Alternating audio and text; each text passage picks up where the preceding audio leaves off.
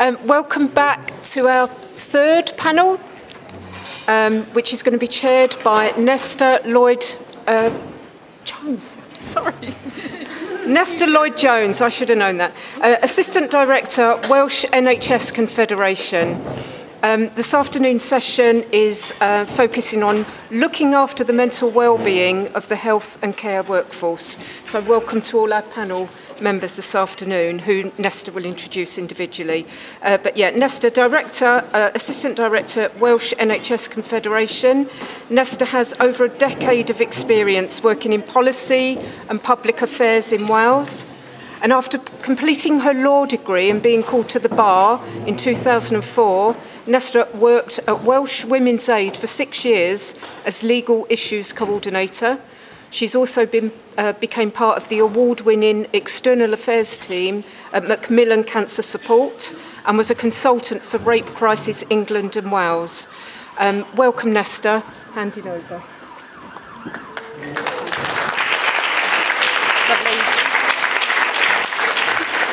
Thank you very much, Angela. And um, I don't know how we're going to follow that amazing choir, really. Um, I was at the back filming a lot of it. Uh, absolutely, you know, after lunch, I think it's always brilliant to, to get a bit of energy, get us all standing, clapping, singing. So um, I'm not sure how whether you're going to be standing, clapping and singing with, with our panel, but hopefully we'll be able to to talk about you know, the important issue of the mental health and well-being of the workforce. And I'm delighted to be co-chairing um, this session this afternoon. Um, just before I introduce my other um, co-chairs, Ollie and Angie, um, as Angela said, I'm Nesta Lloyd-Jones. I'm the Assistant Director at the Welsh NHS Confederation. Um, so for those who don't know, um, the Welsh NHS Confederation is the membership body for uh, the NHS bodies, that, um, all the NHS bodies in Wales. Um, so the seven health boards, the three trusts, so uh, Public Health Wales, Velindre and the Welsh Ambulance Service, and the two special health authorities, um, Health Education Improvement Wales and Digital Health and Care Wales. And most of my work, my day-to-day -day job, is uh, working very closely with NHS leaders to um, influence uh, government and to raise awareness of the key issues um, for them.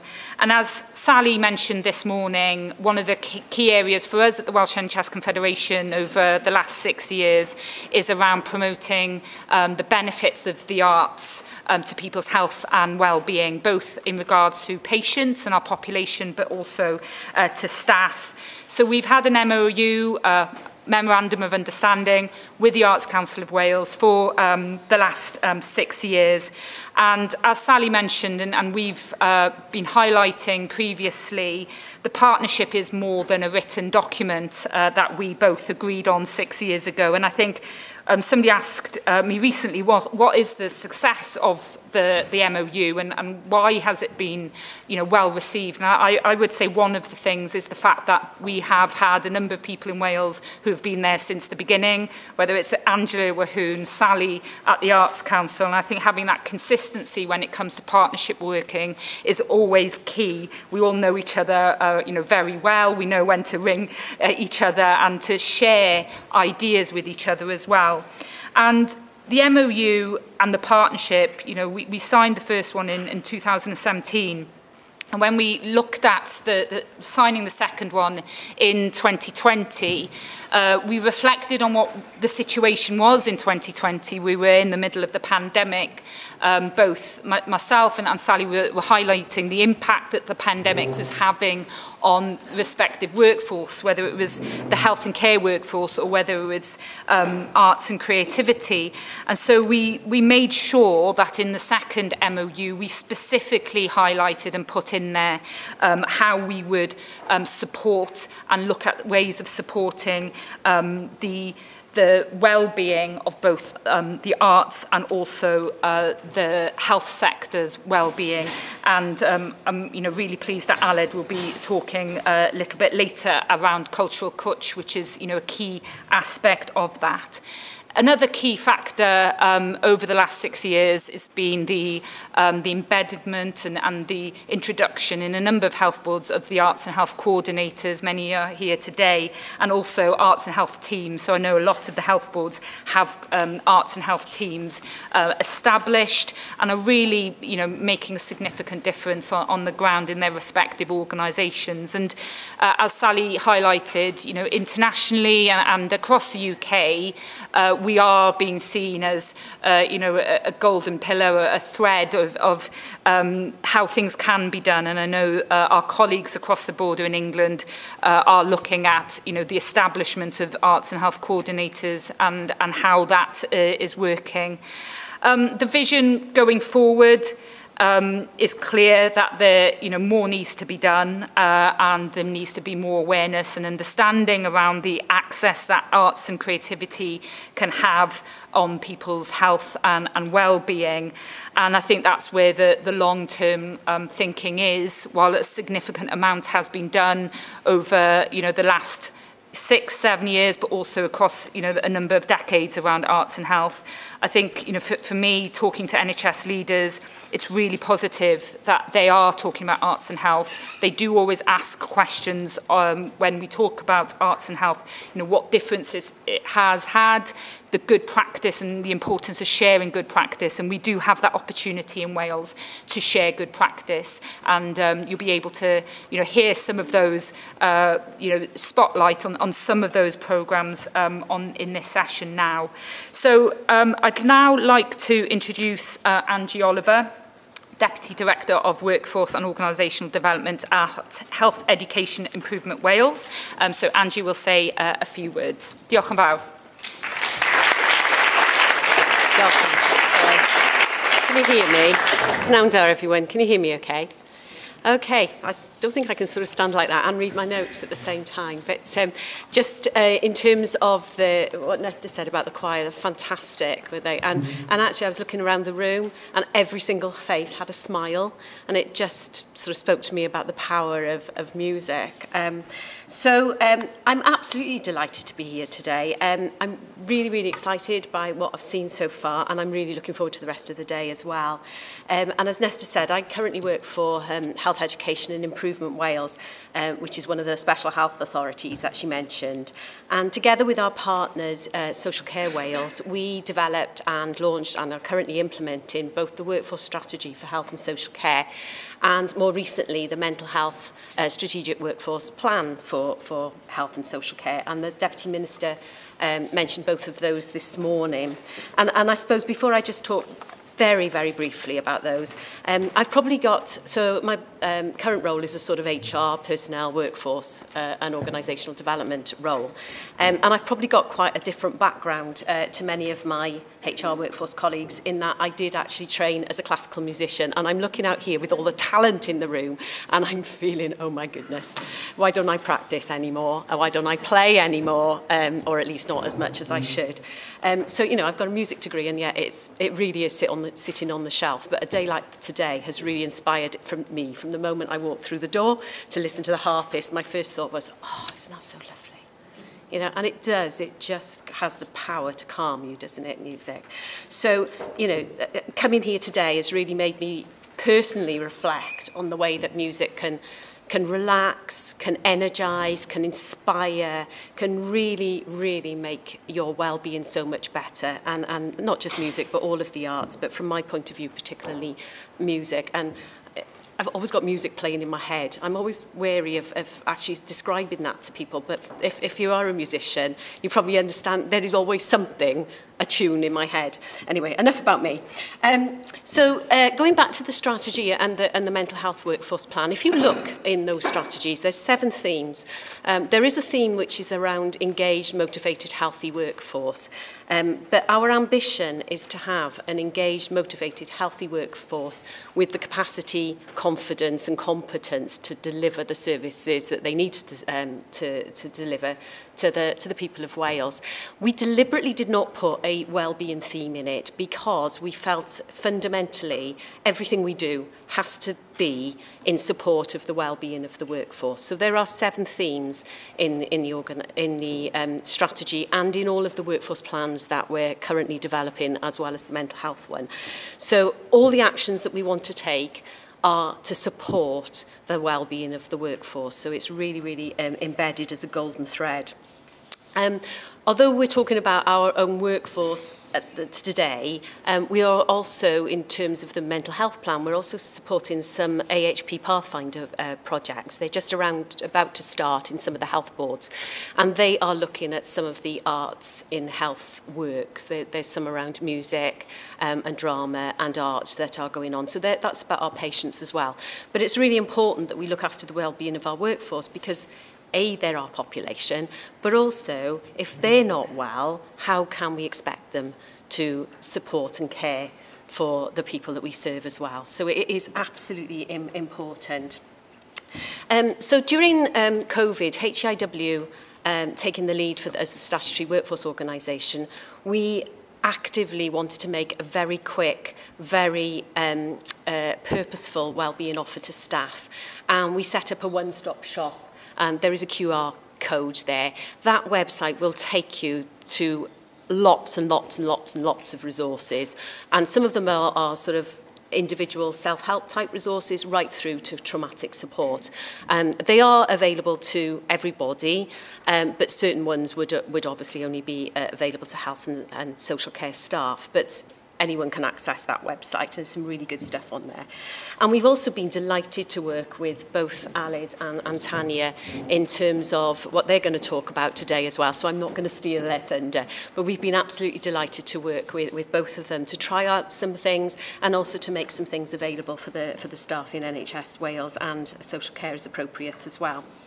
Um, and we've still got those partnerships running. So um, really, really really, really good work.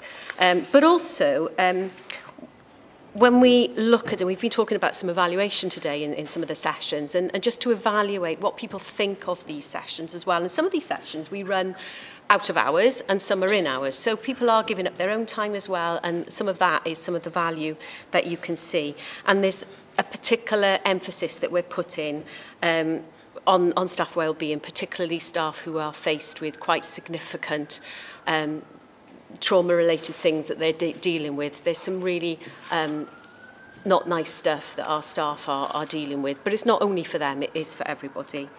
Um, we're currently offering a suite of um, sessions called Moving for Self-Compassion, which again is, is in Tanya's um, area and that is really really being popular with our staff and and the wider um NHS Wales so um you know people are asking can we have more and that is really fantastic And I suppose the other thing, you know, we've got some big projects going on, and I haven't mentioned them all, but also the little things as well. And it's the little things that we can encourage our staff to do individually as organisations. You don't need permission.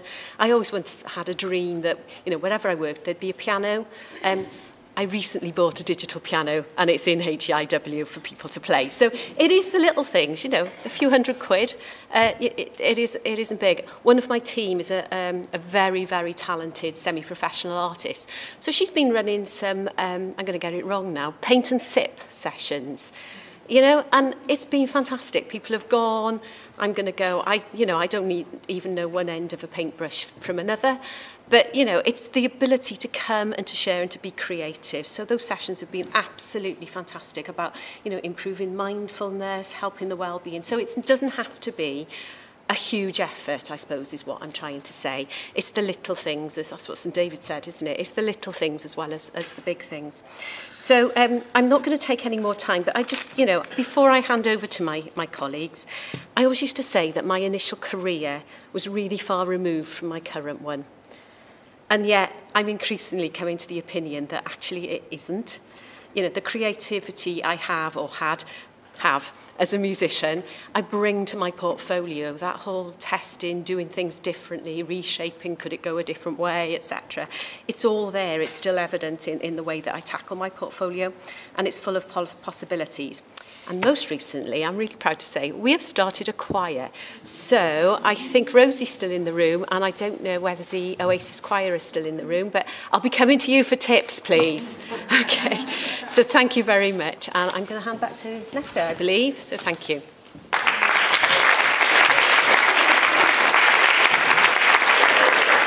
Brilliant. Um, thank you very much, Angie. Um, so I'm going to hand over to uh, our other co-chair, Ollie, Oliver John, and then Tanya. Going that way, then that way. so Oliver John.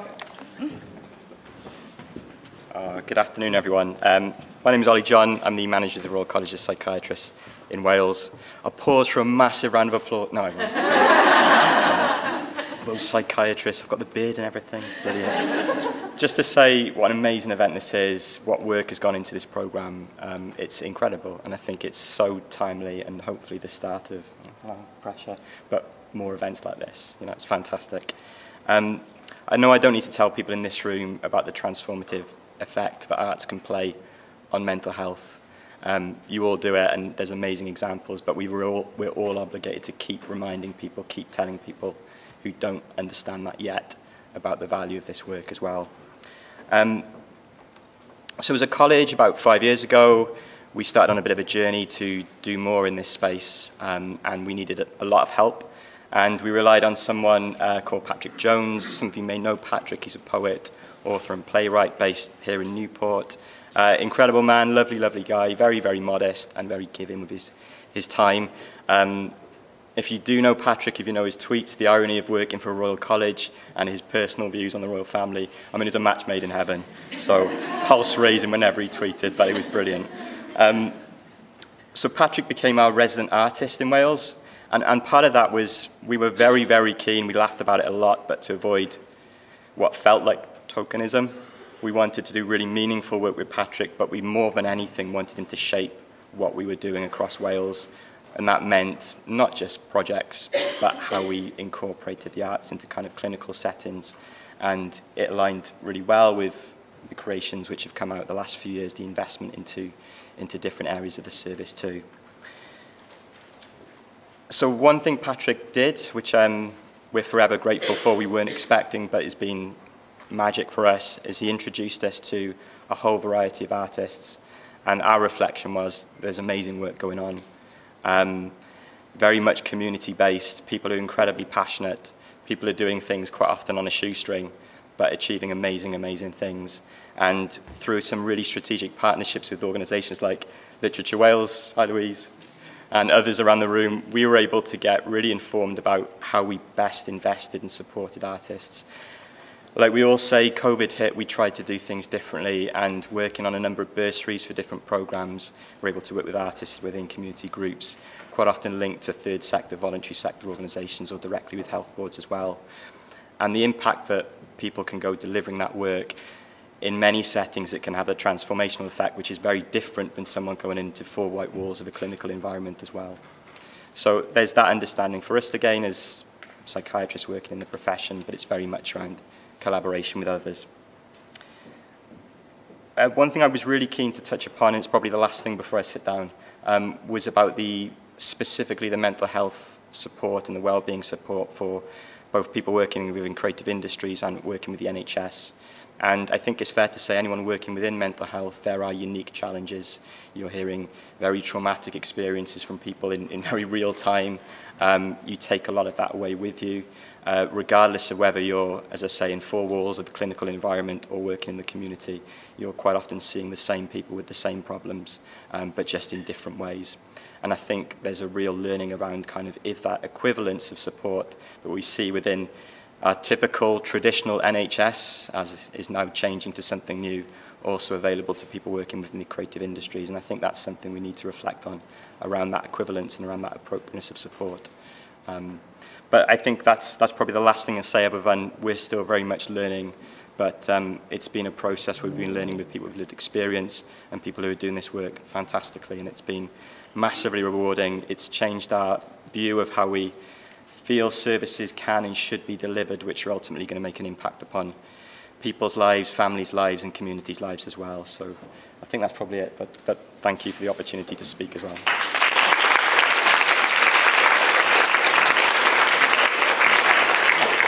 Lovely. Thank you very much, um, Ollie. So, as you've um, heard already, and I think from the sessions I went to this morning, there's been a lot of discussion around, you know, the NHS and the clinical model of health, and you know, the need to shift to more patient-centred, person-centred outcomes. What matters to people, really? Um, and I think we're all on on that journey. Um, you've heard from the three chairs. Um, so now it's an opportunity for us to hear a little bit about some of the award-winning programmes that we are very lucky to have in Wales. So I'd now like to introduce uh, Dr Tanya Acheron, dance movement um, psychotherapist and company director, who will be uh, talking about the Body Hotel. Thank you. Tanya.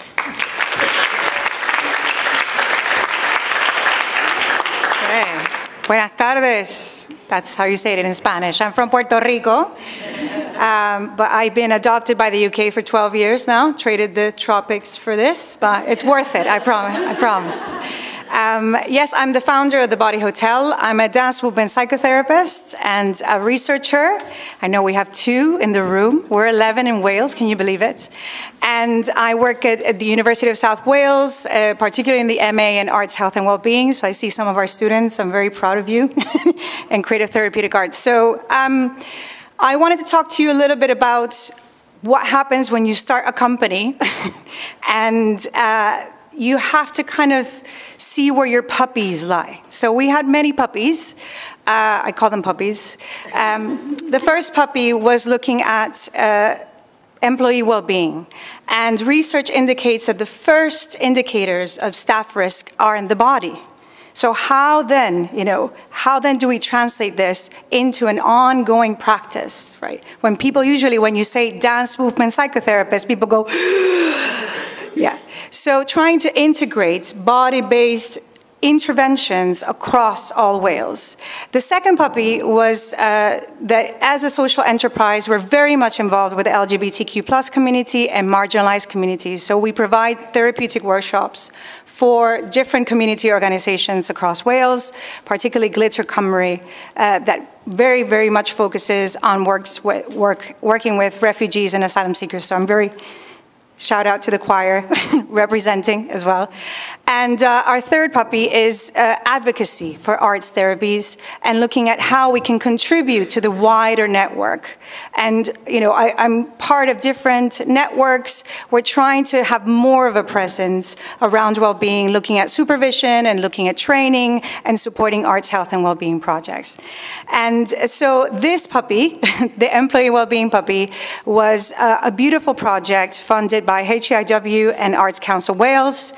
They funded first a pilot in 20, 2021, 2022, and then we wanted to scale up now. We wanted to bring 39 sessions, I think it's ended up being a bit more, across Wales, and look at different pockets of ways in which we could reach employees, right? So we did intensives, we call them intensives, but we, we changed it Saturday mornings because intensives felt a bit uh, overwhelming for people. Um, it, those were in person. We also wanted to do a little little tiny tasters, so 20 minute uh, workshops called Cuchquinho. These were hosted on the Gwella platform through HEIW. And then we also had our online, online offerings in the evening. So we were trying to just reach wide, wide. Also, we wanted to commission movement specialists across Wales and internationally to bring little tiny I know it's almost like everything's little tiny, but some tasters of movement strategies and uh, create little videos for, for us, five, six minutes, for, for movement to be accessible at any time, right? And then um, we're also doing what's called is like the big word a social return on investment evaluation which is uh, looking at the value and how people's experiences kind of influence you know the impact these projects could have in the future. So there were a lot of challenges there are some challenges because things are changing. People are fed up with being online but also online allowed us to reach you know north wales and reach far and wide rather than having to, to only focus on one locality, and we're based in Cardiff. So that was kind of a challenge. And also um, getting people to go, okay, this is a little bit outside our comfort zone. Movement is outside our comfort zone, but the body is at the base of it all. Um, the other interesting bit of this was that from these tasters, we, we grew. We had new partners approach us. Halva uh, was very interested in having us. And then Swansea Bay, we're like, we're having, uh, we're turning our libraries into a well-being space. Can you come in? So then it's kind of snowballed from that. And, and it's been really interesting to go into a hospital space and actually be of service in that way. And one of our really like that. Those groups are really in my heart. We talked about uh, Aneurin Bevan this morning. Uh, we went to the Grange and uh, worked with the nurses in the ICU, and they were already negotiating. Can we do 10 minutes instead of 20? Can we do 15 minutes? And we're like, okay, we'll try for 15.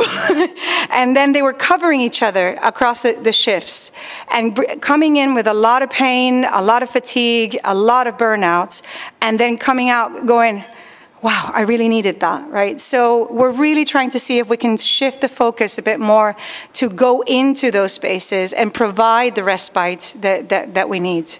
Um, I think that's and then also, uh, I, I, need to give a big shout out to the arts health coordinators because Cwm Taf Morgannwg I don't know where S is, um, really was an amazing partner because they were in charge of all referrals. They were like, come in, it's all right. and it's really important to have that person believe in you, and then the system believes in what you do, and it starts to really, really, really take a knock-on effect. So um, just to, to wrap up, because I have to practice what I preach, I just wanted to have a moment. I'm going to steal 30 seconds. Is that all right? Okay.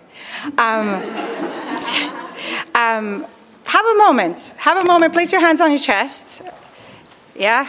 And then tune into your body a second. And I want you to open your eyes and offer to your table a gesture about today. Just have a moment. Gesture can be anything. Have a moment around your tables. Offer them a gesture. Yeah? Any gesture. There we go. Excellent. All right, so we have the. Beautiful. Excellent. Thank you, thank you, thank you, thank you. So, in a nutshell, we will always say more with our bodies that we can say with our words. So, thank you very much, and thank you for, for having us. Thanks, Wayne.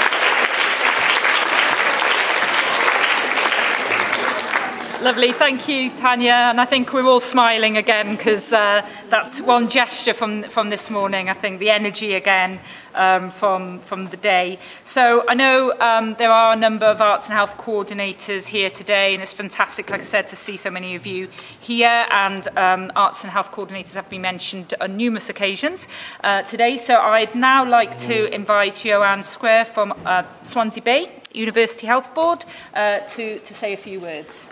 Ja.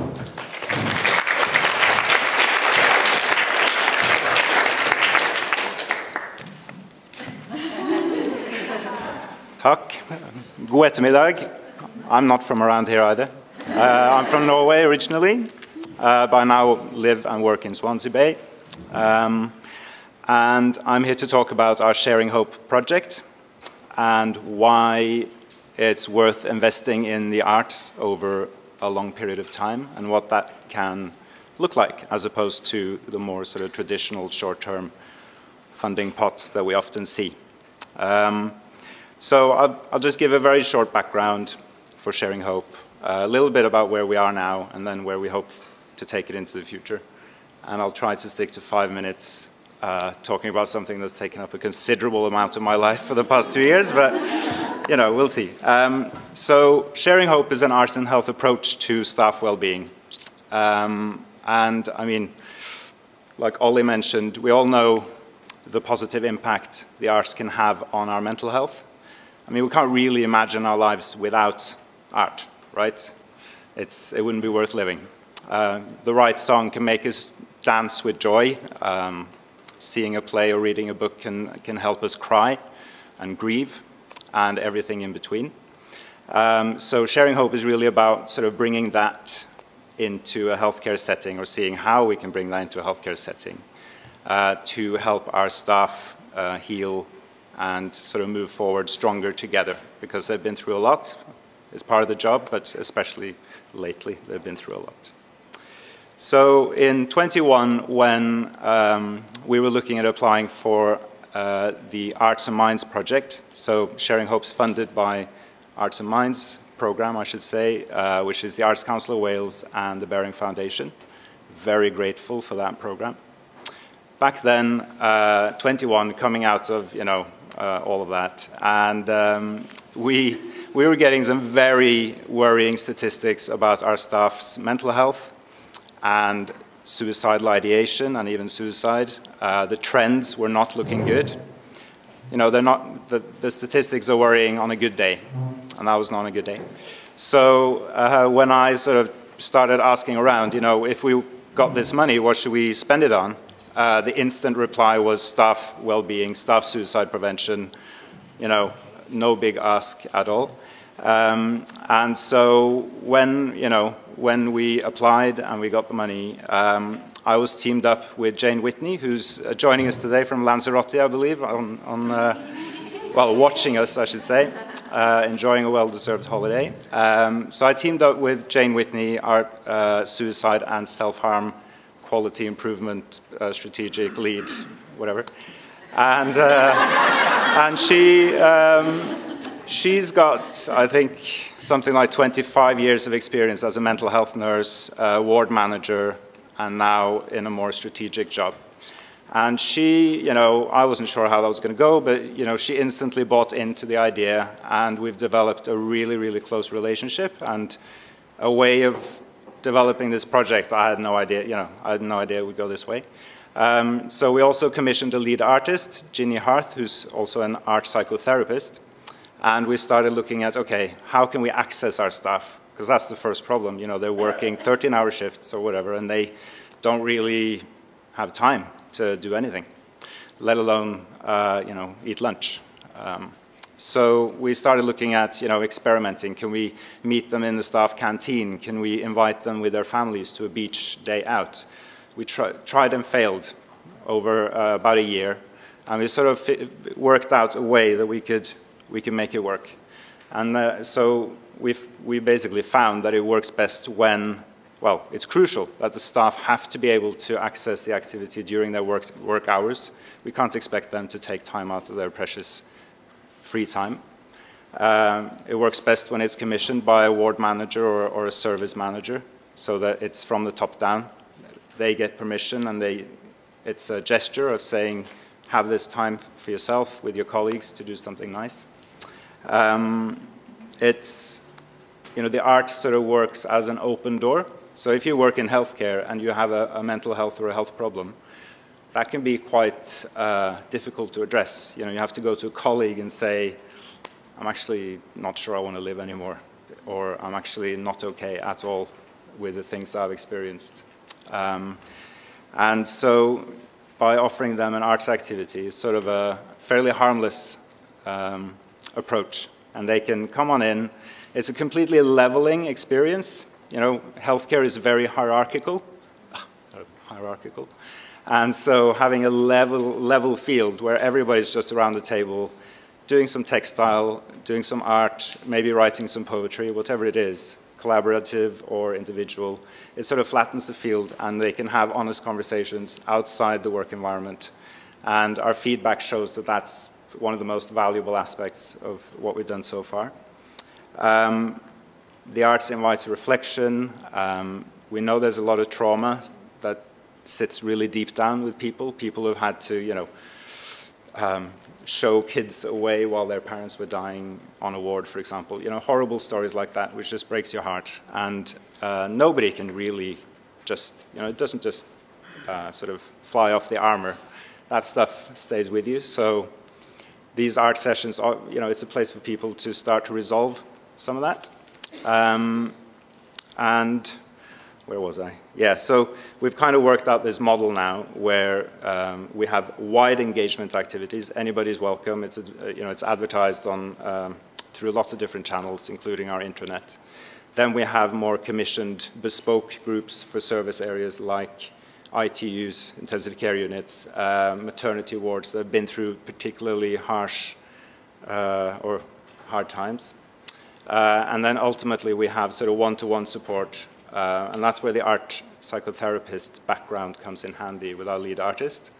So we're always taking care of people all the way to one-to-one sessions and ultimately referral onto a specialist service if that's necessary as well.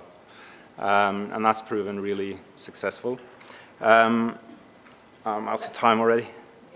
Two minutes, right, cool, thank you. right, oh man, I'll be really quick then. Right, so after about a year of delivering Sharing Hope, we've had over 850 staff members engaged with our artists, uh, over 150 just in the last month, which is a bit nuts. Uh, and it means that um, basically we are, we're at our limits now. We can't, we can't take any more, but we need to grow. Um, and that's kind of one of the things I wanted to say is that there's a risk of putting something in place that people depend on if you put support in for people and then, oh, funding's over, that's not cool. You know, that can have a very opposite effect. So we have one year now of funding until uncertain times next sort of autumn. So we're going to work like hell, basically, for a year.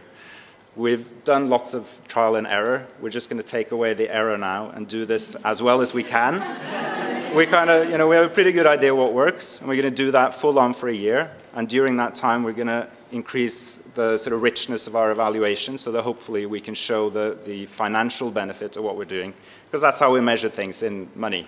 But it's resources, basically. If we lose a member of staff uh, to, you know, uh, long-term sick or they don't want to do their job anymore, that costs us like, you know, tens of thousands of pounds potentially in retraining, you know, getting agency staff and whatever it is. So if, and that pretty much pays for sharing hope for like six months.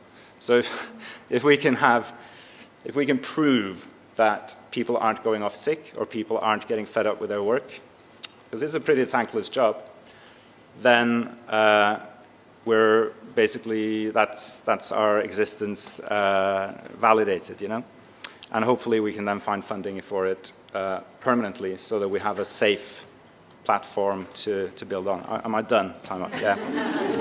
cool. All right. I've got tons of other stuff I want to say, but that's fine. Fine. um, but yeah, I'd love to, you know, if anybody has, is interested, I'd love to meet up one to one and talk about this more in depth. So yeah, thank you.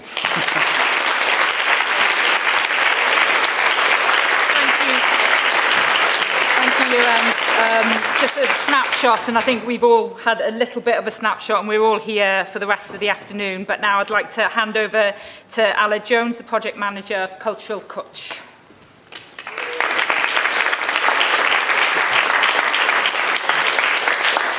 So, Prynhawn da. Um, yeah, so my name's Ala Jones. I'm uh, project manager for Cultural Cwtch. Um, what is the Cultural Coach? So the Cultural Coach, um, it's an online creative wellbeing resource. So there's lots of work being done kind of in uh, arts and health with a focus on patients. So this is a focus on kind of staff and its healthcare workforce. Um, the project's a kind of cross-sector uh, kind of piece of work. So it's arts and health sectors working together really um, with kind of artists from Wales kind of creating content to kind of inspire um, and then kind of uh, help with the wealth, uh, well-being and healthcare um, of workers. Um, Cultural has commissioned about 70 artists so far, and I've kind of seen lots of faces here from artists we've commissioned. Um, Ollie's on about Patrick Jones, we worked with Patrick Jones, we did some amazing kind of writing piece. Tanya's done stuff for the Body Hotel. Um, so, so it's kind of, kind of really nice kind of bring all these artists together why do we create the culture of Kutch? Um, again, it's kind of, it was created in response to the COVID-19 pandemic, really. Um, kind of having discussions with the kind of uh, health sector and finding out about the kind of trauma, uh, trauma and pressures that workers were under. So it's been designed in uh, kind of consultation with Health Education Improvement Wales, um, the NHS Confed, Social Care Wales, and we're also working with Public Health Wales as well. So we're trying to get kind of all these organisations um, together. We've had funding from Welsh Government, Um, so, and it's part of the kind of ongoing programme really, of partnership uh, within kind of arts and health, to kind of, I guess, to show the kind of how um, users can engage with the arts and kind of benefit their, their health and well-being. Um, so like I said, so it's a national resource. We've commissioned 70 artists across a range of different art forms. So there's everything there from kind of craft, dance, uh, kind of music, circus, writing, um, and it's completely bilingual. So I've, we've done a video which I think will kind of probably explain it a lot better in the next two minutes than I can. So just watch this and enjoy. Uh...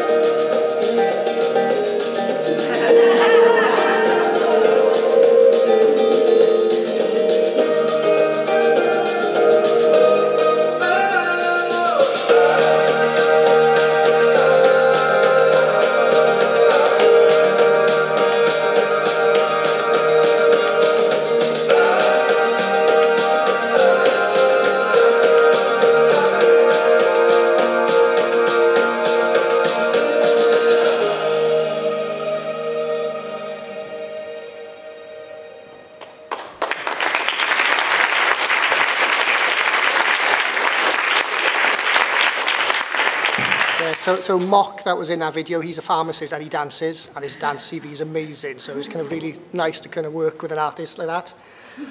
Um, so I guess kind of what next for the project? Well, we're kind of um, evaluating the project at the moment, kind of taking stock, um, seeing the kind of impact we've had really, um, and seeing where we kind of go next, kind of what opportunities are there. Um, feedback from users kind of tells us that we've created some amazing kind of content, commissioned some brilliant artists, um, and the kind of product is, is really, really good. So it's just looking at kind of where we go next. We've got funding until March 2024. Um, and then after that, we're kind of just looking at kind of see what kind of those opportunities are out there. So I'd really encourage you to kind of go to the website. Um, so culturalcoach.wales, coachcreadigol.cymru, kind of fully bilingual. Um, take a look. There's feedback, um, kind of forms on there as well. So just give us your feedback. Let us know what you think. It'll help us drive the project forward. Okay, diolch yn fawr.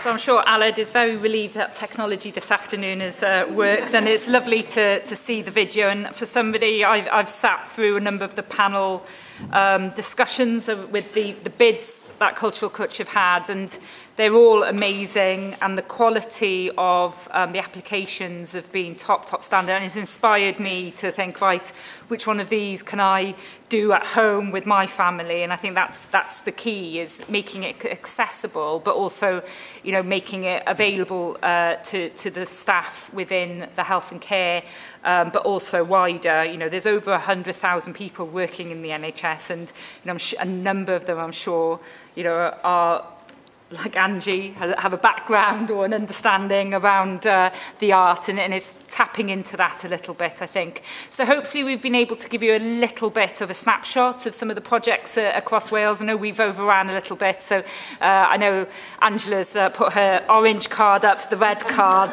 Luckily she hasn't got any other cards, but um, I'll pass on to Angela because I'm sure you'll say where we're all meant to be going next. But diolch yn fawr iawn, thank you very much for, for listening this afternoon.